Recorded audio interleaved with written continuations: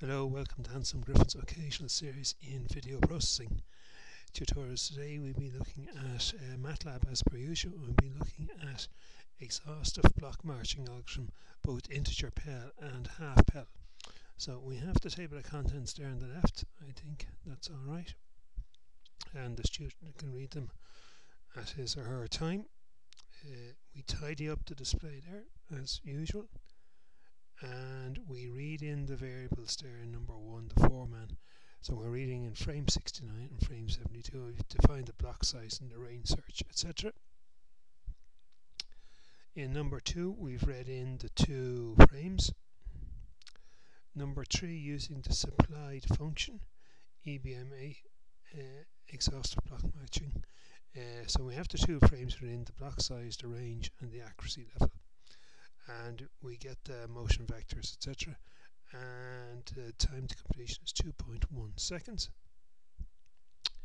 Uh, we there's the anchor frame there's the target frame.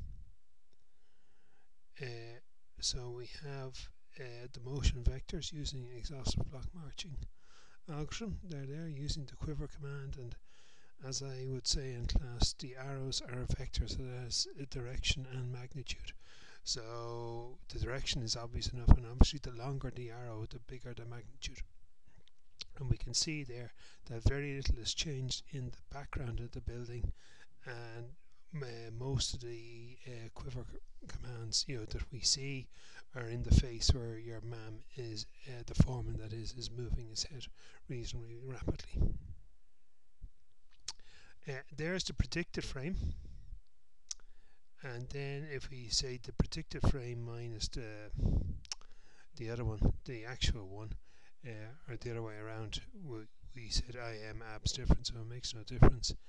So where there's black there's no uh, change and where there's white there is change because if we're subtracting like from like we get the uh, we we get zero which is black and the greater the difference the whiter it is we get the peak signal to noise ratio which is 27.49 we then run the same command again with half PEL EBMA and we see it's 8 seconds so it's nearly 4 times. Uh, the execution time uh, just there again we'd expect the execution time to be much higher for the uh, half PEL because of the greater uh, number of computational steps So there's the half PEL and there's the predicted frame using the half PEL and then I'm going to leave it up to the student to uh, calculate the PSNR and comment. Thank you very much.